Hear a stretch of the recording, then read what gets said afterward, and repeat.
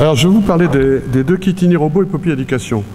Euh, pendant que, Poppy apprenait à marcher, euh, s'est développé il y a deux ans et demi euh, le dispositif INIRobot, dont l'objectif était de, répondre à une des missions d'INRIA, qui est de la diffusion des sciences du numérique. Et pour cela, on a regardé du côté du Timio, et grâce à Morgane Chevalier, qui est quelque part dans l'assistance et avec qui j'ai échangé les premiers mails, donc c'est grâce à elle que tout a démarré, euh, on, a, bâti, on a un kit euh, d'activités pédagogiques autour du Timio qui a été destiné à l'initiation à l'informatique et à la robotique pour les enfants d'âge de primaire, soit pour le temps scolaire ou pour le temps d'accueil périscolaire, ou encore pour les centres de culture euh, scientifique et technique comme Cap Science, etc., ou les structures comme les petits débrouillards. ensuite, a suivi Poppy Éducation, qui était un usage de Poppy pour euh, l'éducation, donc pour là encore euh, l'initiation aux sciences du numérique, mais cette fois pour les plus grands. Donc Poppy Éducation est arrivé dans un deuxième temps, une fois qu'on s'est rendu compte aussi que les, performances de la plateforme le prêtaient particulièrement bien à ce type d'usage. J'y reviendrai tout à l'heure. Euh, tout d'abord, il y a deux kits robotiques, mais on a tenté de suivre la même approche dans les deux cas à savoir bon, les objectifs de départ, toujours les mêmes, initiation à l'informatique, initiation à la robotique. Il s'est avéré qu'ensuite les kits étaient utilisés pour bien d'autres choses, vous en entendrez parler. Oh. Ça marche mal?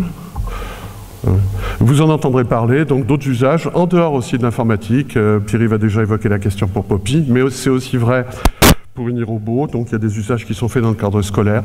Vous en entendrez parler notamment cet après-midi. Euh, alors, la stratégie pédagogique sur laquelle nous avons reposé notre, notre dispositif repose sur trois axes. Premièrement, un micro-monde d'apprentissage à la frontière du numérique et du tangible, naturellement proposé par le robot. C'est un des grands avantages du robot, qui a été indiqué par Pierre-Yves, mais qui a été aussi renforcé par ce qu'a dit Vassilis tout à l'heure. Deuxième chose, j'en aurais besoin. Deuxième chose, une démarche d'investigation scientifique. Donc là, l'idée, c'était de, proposer aux enfants, parlons d'enfants de façon générale, ça sera plus simple, de proposer aux enfants de devenir des petits chercheurs, d'être face à des questions, de formuler des hypothèses, d'expérimenter, de débattre, euh, etc. Euh, pour montrer un peu le niveau d'investigation qu'on a souhaité, dans le cas d'Inirobot, la première mission, les activités étaient sous forme de mission, j'y reviendrai tout à l'heure. La première des missions euh, consistait, on leur donne l'objet, on leur dit voilà, on a trouvé ça hier dans les bois. Euh, euh, évidemment, ils ne croient pas, bien entendu.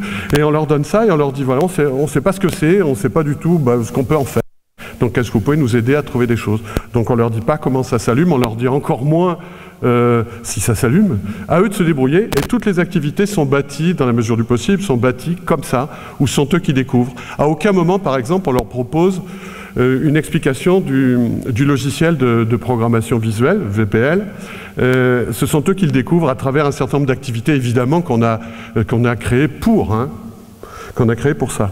Le travail coopératif, ça aussi c'est une dimension importante. On retrouve là encore l'esprit de, proposer une équipe de recherche, une petite équipe de chercheurs qui va travailler ensemble, partager les difficultés, débattre, euh, soutenir la motivation de chacun qui va en plus permettre de porter les difficultés ensemble. Alors ça, ça paraît être un, détail dit comme ça, mais en réalité, notamment dans le cas d'enfants en difficulté, c'est quelque chose de majeur.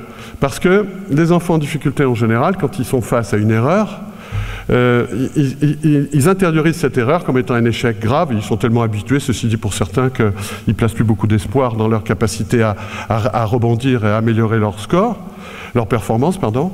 Euh, donc là, le fait d'être en groupe, eh bien du coup, quand il y a une difficulté, quand il y a une, erreur qui se présente dans, un programme, par exemple, qui fait fonctionner un robot, cette erreur est portée à plusieurs. Donc c'est beaucoup plus léger. Il n'y a pas de cette intériorisation personnelle, ce jugement souvent euh, avec lequel il s'accable fortement. Et puis en plus, le fait que ça s'exerce sur un objet tangible, c'est quelque chose qui finalement, par le côté concret, mais ça a été dit aussi dans les interventions précédentes, c'est quelque chose qui est moins lourd, qui est finalement, c'est dans l'ordre des choses. Et du coup, on redonne à l'erreur ce statut qu'elle devrait toujours avoir, c'est-à-dire une étape majeure dans l'apprentissage, ni plus ni moins. Euh, un, élément important, les kits d'activité dans les deux cas, que ce soit Inirobo ou Poppy Éducation, ce sont des kits d'activité qui sont libres et, gratuits, qui sont aussi créés en collaboration avec des enseignants, qui sont testés, euh, évalués, et qui sont aussi proposés avec les solutions. Ce n'est pas un détail, parce qu'en fait, que ce soit les enseignants ou les animateurs, sur le temps d'accueil périscolaire, par exemple, ils n'ont pas forcément le temps de bâtir tout ça. Donc là, on propose quelque chose finalement clé en main et qui permet de démarrer tout de suite avec des formations adaptées. En plus, pour accompagner tout ça, on propose des sites internet et des forums d'échange où on a des choses parfois formidables qui se passent là-dessus, des gens qui s'approprient ces activités, qui les modifient pour les adapter à leur public ou selon leur goût, et qui les remettent en partage dans la communauté et ainsi de suite. Donc c'est vraiment l'esprit qu'on voulait donner à tout ça. Euh, rentrons un petit peu plus dans le détail maintenant de, de Dini Robot.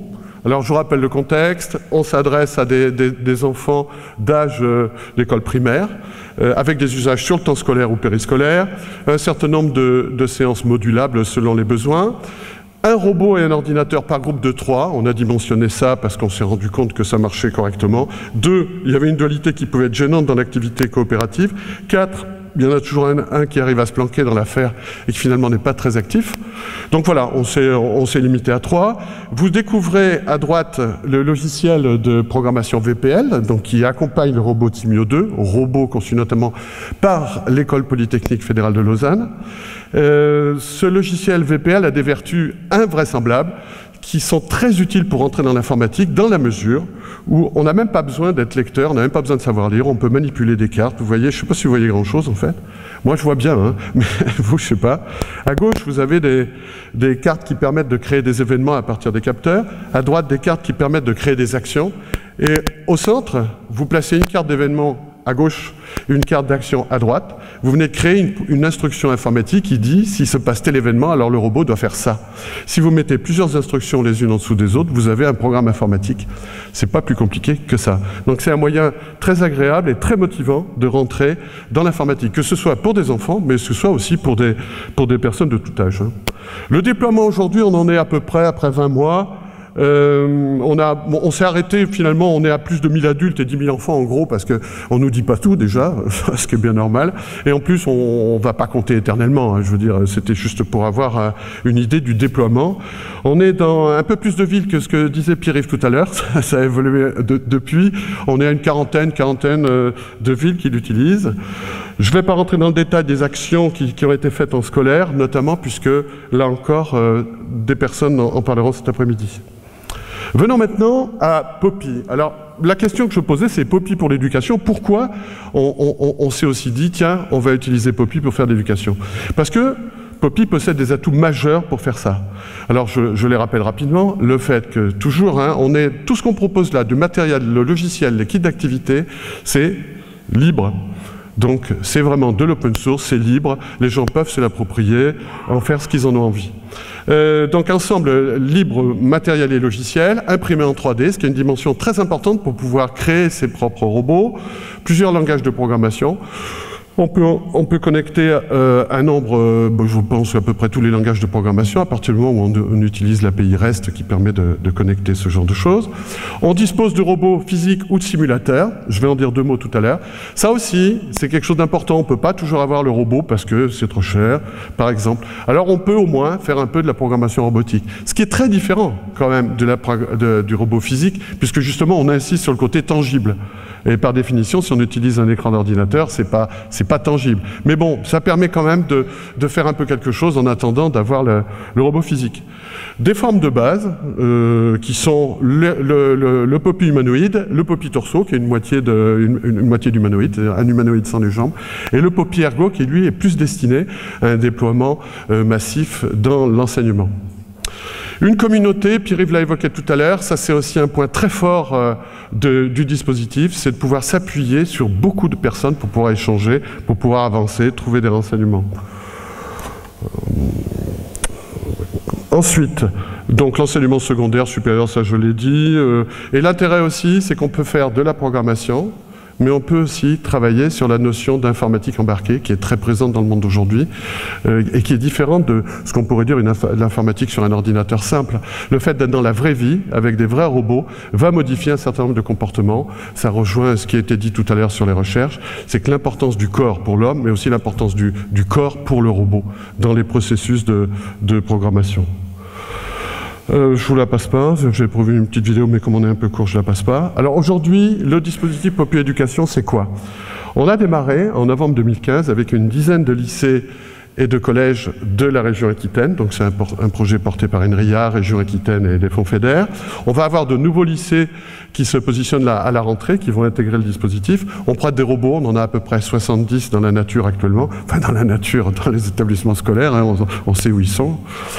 Un livret d'activités et de, des activités complémentaires qu'on a créé pour ce dispositif-là. Vous voyez le, livret à droite, qui est un livret lui aussi tout à fait accessible sur Internet. Vous pouvez le télécharger, il, il comporte 60 pages. Un site web, là aussi, comme je le disais tout à l'heure. La même chose existe pour Inirobot, hein. le livret est téléchargeable. Un site web et un forum euh, dédié au projet avec lequel, euh, dans lequel pardon, on peut euh, échanger. Une dimension importante que j'ai oublié de préciser, c'est que dans le cas de, Poppy, on peut aussi programmer directement dans le navigateur. On peut aussi, par l'usage d'une Raspberry Pi, ne pas avoir besoin d'équipements compliqués autour, puisque tout peut être intégré dans dans la Raspberry. Euh, voilà, quelques éléments sur Poppy Éducation. Je profite de ce colloque pour insister sur ce que disait Pierre-Yves tout à l'heure. On n'en a pas parlé, mais on a eu la même idée. C'est de, dire un grand merci aux, établissements et aux enseignants qui, qui, nous accompagnent dans le projet et qui font un boulot remarquable, que ce soit en termes de création d'activités, d'avis sur les activités, de modification des activités, qui accueillent toujours avec beaucoup de gentillesse les, ingénieurs qui se déplacent, qui vont voir ce qu'ils font, parce qu'on leur casse quand même un peu les pieds, il faut le dire, qui viennent aux réunions volontiers qu'on fait régulièrement à peu près tous les mois, tous les mois et demi. Donc voilà la liste des, lycées, avec un petit côté exotique, parce que vous voyez le lycée de Nevers, qui n'est pas du tout en Aquitaine, c'est pas une erreur de ma part, c'est parce que historiquement, le lycée Raoul Follereau de Nevers a travaillé avec nous, donc on il collabore également au projet. Hein. Euh, voilà quelques mots. Vous allez retrouver un certain nombre de ces personnes, même beaucoup d'entre elles, tout au long de la, au long de la journée, qui vont vous présenter des choses euh, passionnantes. Un petit mot sur quelques visuels. Ça, c'est Snap. Alors là, Snap, vous allez en entendre parler aussi, notamment par Jens Menig, qui, a la chance d'être le créateur du logiciel, donc euh, il sait de quoi il parle. Ça va être quelque chose d'aussi très intéressant un simulateur et un visualisateur. Alors vous allez me dire, je suis sûr que ça vous taraude cette question, quelle est la différence entre un visualisateur et un simulateur? Ben, Le visualisateur, il permet de visualiser, et le simulateur de simuler. C'est-à-dire qu'en fait, oui, non mais il fallait, il fallait, il fallait quand même le préciser pour pas qu'il y ait d'ambiguïté. Euh, alors, le visualisateur, il permet de voir le robot euh, en, action, mais il n'a pas d'interaction avec son environnement. Le simulateur, lui, il a une interaction. vous voyez que ça devient intéressant d'un coup. Il a, il a une interaction, c'est-à-dire qu'on dit qu'il a de la physique, ce qui se passe à côté, s'il y a des événements qui, vont, qui agissent sur le robot, on va effectivement pouvoir les prendre en compte. Une petite vidéo pour vous montrer l'ergo en action. Là, vous voyez la photo statique. Voilà, c'est l'ergo qui détecte des QR codes. Je vous laisse regarder ça, ça dure deux minutes. Pas du tout. Ça va arriver. Ça dure toujours deux minutes, ça, ça n'a pas changé. Hein?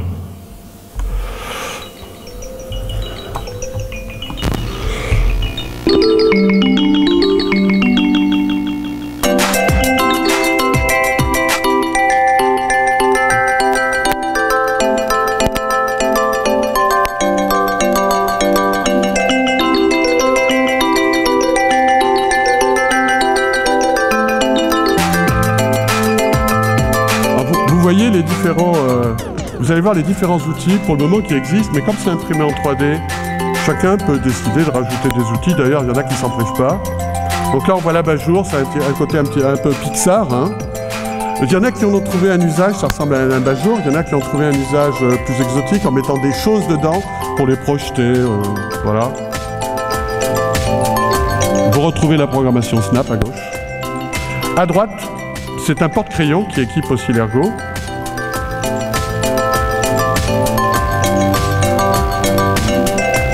Et là, vous allez voir ce qu'on appelle un apprentissage par démonstration, c'est-à-dire qu'on montre au robot comment faire quelque chose et il va le reproduire. Je le sais parce que j'ai déjà vu la vidéo, hein. je sais que ça marche.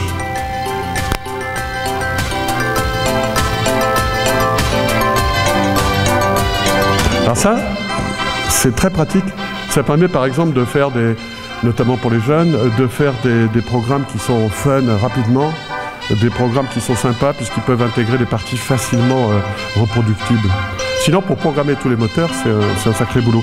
Et alors là, il faut que je vous parle de cette histoire terrible de ce pauvre koala. Il y a un koala dans l'équipe. Alors Dieu merci, c'est pas un vrai, mais qui est quand même un petit peu le souffre-douleur, enfin je finis par le penser, puisque quand il y a une expérience un peu raid, c'est lui qui s'y colle. Voilà un autre usage euh, détourné de, de l'abat-jour, hein, qui fait tout sauf, euh, sauf la lumière finalement. Voilà. Euh, quelques mots pour vous dire où est-ce qu'on en est aujourd'hui autour de Poppy Ergo en particulier. Poppy Ergo, vous retrouverez aussi sous le nom de Poppy Ergo Junior. Me demandez pas d'où viennent les noms. je vous enverrai vers les personnes à qui vous pourrez poser ce genre de questions. Euh, les matériels, donc le kit Popiergo, il est distribué aujourd'hui par Génération Robot. Il est en précommande, hein, disponible sur leur site. Euh, vous pouvez faire le choix différent de tout vous construire vous-même, puisque tout est accessible, les plans sont gratuits, vous pouvez fabriquer tout ce que vous voulez. Les ressources pour pouvoir s'approprier le robot, bien le forum, les livrets pédagogiques dont j'ai parlé, la documentation complète pour aller encore plus loin, et le site, vous allez trouver tout ça qui va vous orienter vers toutes ces ressources-là, c'est poppyproject.org. Si vous allez par le site dessine-moi-un-robot.fr, dmar.fr, vous arriverez aussi à ce type de ressources. À venir, c'est-à-dire les choses sur lesquelles on travaille aujourd'hui, des nouveaux capteurs, des nouveaux actionneurs, de manière à couvrir une gamme plus importante encore pour l'éducation, de nouvelles activités, de nouveaux livrets. Et je termine par cet assemblage exotique d'un Timio et d'un Ergo. Et vous allez les voir dans une mission, si j'y arrive d'ailleurs. Non, ça c'est pas bon ça, c'est pas bon du tout. Voilà. Vous allez voir dans une mission, vous allez retrouver un de nos amis. La bouteille de vin, c'était pour faire couleur locale. Je n'avais pas compris au début, mais on m'a expliqué. On retrouve ce pauvre koala, qu'on vient juste de quitter, et qui, là encore, va, va, subir des choses assez effroyables. Donc vous voyez ce qui s'est passé. Le Timu a détecté des obstacles.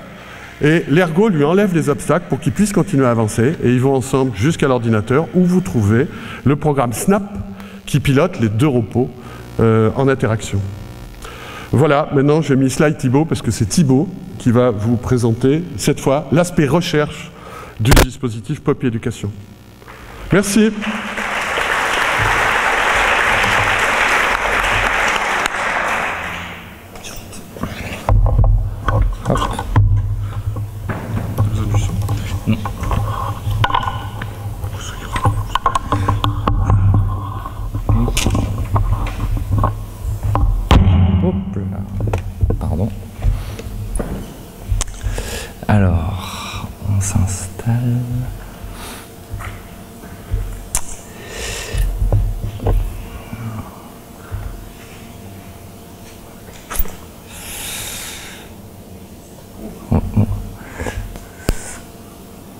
Ça m'ira très bien.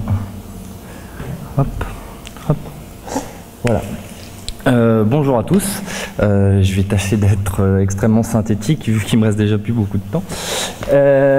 donc je vais vous parler plus en détail donc des, des kits pédagogiques qui ont été créés, donc l'aspect conception et l'aspect évaluation de ces kits. Donc c'est bien parce que Didier et Pierre-Yves ont déjà pas mal débroussaillé le sujet, donc on va pouvoir entrer directement dans l'essentiel. Ce qu'on voit tout de suite, c'est qu'il y, a deux axes qui se dégagent. Donc, d'un côté, euh, les aspects de, conception et euh, d'optimisation, donc qui sont là pour répondre avant tout euh, aux besoins et aux contraintes du monde de l'éducation. On est bien dans le projet Poppy Éducation ici. Et d'un autre côté, l'évaluation de ce qui peut être créé autour de ces kits pédagogiques, donc qui peuvent être spécifiquement sur les kits ou aussi sur les enseignants, les élèves, en termes de motivation, d'apprentissage d'acquisition de connaissances, d'appropriation, enfin toutes ces choses-là. On peut vraiment imaginer euh, énormément de, protocoles. Donc euh, il a fallu établir, euh, pour pouvoir évaluer ces choses, des outils qui sont essentiellement des questionnaires, des entretiens et des observations pour pouvoir rendre compte de l'efficacité de ces kits. Alors, comme je le disais, le, le point focal ici, c'est l'éducation, mais plus spécifiquement les lycéens, Poppy Ergo et Snap. Bien sûr, il existe d'autres partenariats dans les collèges. On aura une présentation tout à l'heure avec euh, d'autres robots, Poppy Torso, Poppy hum, humanoïde. Mais nous, vraiment, l'aspect sur lequel on a voulu commencer, c'est les lycéens, l'ergo et Snap. Donc la, euh, méthodologie, donc on a, deux axes qui vont être euh, d'un côté une mise en situation écologique pour la, conception, donc avec le partenariat des enseignants. Je pense que Pierre et Didier l'ont assez souligné, ce sont des personnes indispensables pour, pour la création de tels projets. Et d'un autre côté, euh, des séances ponctuelles euh, animées par, euh, par nos soins pour chercher à évaluer plus spécifiquement un certain nombre de concepts qui, dans le, milieu traditionnel de l'école, pourraient être biaisés par les autres enseignements. Il est difficile de, de jauger la part de d'influence des kits pédagogiques dans un environnement global. Donc là, les séances ponctuelles sont là pour plus se focaliser. Donc, euh, les enseignants, les, personnes sur lesquelles on a pu réaliser ces, activités, donc c'est neuf lycées, euh, Didier en a fait la liste, qui sont assez éloignés. D'ailleurs, on ne voit pas Nevers sur cette carte parce qu'il est extrêmement loin. Euh, et donc, il a fallu pouvoir communiquer. Donc, ça a été grâce au forum notamment. Je pense que chacun d'entre vous pourra y naviguer rapidement. Et on a eu un certain nombre de, réalisations. Bon, on part bien sûr du robot réel. On a eu un besoin qui était de dire que que ben, euh, euh, même en ayant un robot par groupe, il est parfois difficile d'avoir suffisamment de robots pour une classe. Donc euh, les, enseignants ont, demandé à pouvoir utiliser un, support informatique. Donc on avait le simulateur qui était à disposition. il a soulevé quelques problèmes parce qu'il fallait l'installer, la documentation était très anglophone, très technique. il était dédié aussi à un certain nombre de robots. Donc de ça, on a créé le visualisateur qui est beaucoup plus léger, qui marche via le navigateur web, donc il n'y a pas besoin d'installation et, toutes ces choses-là. Donc on a eu voilà, cette, démarche de conception. Et de cette démarche de conception, on a pu euh, essayer d'établir aussi des, activités pédagogiques, donc qui se retrouvent aujourd'hui euh, diluées dans le, livret pédagogique plus global. Et de hum, toutes ces interrogations, on a voulu... Ah oui, pardon, le petit teaser, il y aura des interventions et des démonstrations de toutes ces activités au cours du colloque. Passons, j'ai plus de temps. Donc les expérimentations en tant que telles, euh, qui étaient là pour euh, venir justement évaluer par exemple, on sait qu'avec les activités débranchées, il n'est pas nécessaire d'avoir euh, un ordinateur pour faire de l'informatique. On peut se poser une question avec les activités robotiques, est-il nécessaire d'avoir un robot tangible pour faire de la robotique? Est-ce qu'un visualisateur est nécessaire? Donc ça c'est une des questions qu'on a voulu se poser, et à travers la gestion de la motivation. Est-ce qu'un élève est motivé à faire une activité de robotique quand il s'agit de travailler avec un robot virtuel ou avec un robot réel? On a voulu aussi euh, étudier par la même occasion euh, l'influence que peut avoir le, support sur, euh, sur, cette notion de la motivation. Et donc on a voulu tester d'un côté des instructions qui étaient livrées via un document vidéo et des instructions livrées via un document texte classique, comme on a l'habitude de voir dans l'enseignement. Et donc enfin, on a, voulu tester euh, la satisfaction qu'ont eu les élèves à utiliser euh, ces, kits pédagogiques et enfin, est-ce qu'ils ont réussi à faire des apprentissages. Donc vous voyez, on faisait des séances très ponctuelles de deux heures. On a pu faire passer à peu près une centaine euh, d'élèves parmi les, lycées dont on a cité tout à l'heure. les résultats qu'on a obtenus, bah, déjà ce qu'on peut observer, c'est que grâce au questionnaire qu'on a créé, on a pu évaluer la motivation qui est à la base des expérimentations euh, assez euh, faible globalement, mais surtout très variable d'un horaire à l'autre, d'une classe à l'autre. Donc, euh, donc ça, c'est un premier constat. Et d'un autre côté, on peut observer qu'après l'activité, on a une satisfaction qui est positive, positive pardon, et que la motivation qu'on avait initialement mesurée avant l'activité était restée stable après l'activité.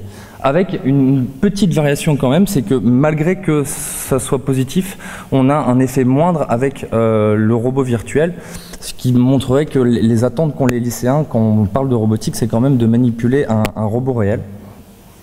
Mais bon, euh, d'autres expérimentations dans l'avenir permettront de plus trancher cette question. En tout cas, ce qu'on peut voir, c'est que déjà, on a un matériel, donc les, questionnaires, les activités, qui est relativement pertinent et qui permet d'observer ce qu'on cherche à mettre en évidence. Donc c'est déjà un bon point pour l'avenir.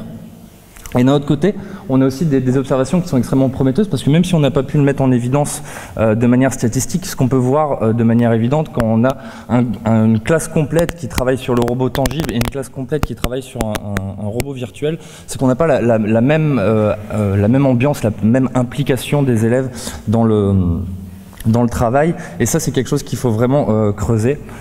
Et, et, donc voilà, donc c'est des choses qu'il faut améliorer.